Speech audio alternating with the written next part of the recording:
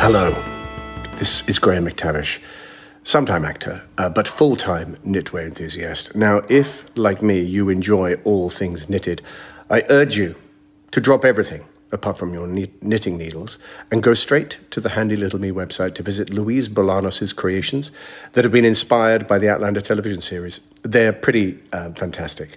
Now, I need to say from the outset, I am not a knitter, neither am I a crocheter, but I am an enthusiast of all things knitted.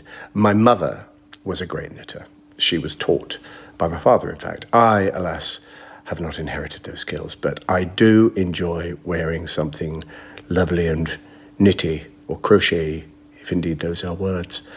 But if you enjoy knitting or crocheting, go to Louise's website, Handy Little Me, and you will be inspired. From me, take care, happy knitting, and Tulach Ard.